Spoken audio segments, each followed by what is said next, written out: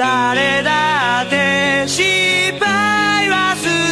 るんだ。恥ずかしいことじゃない。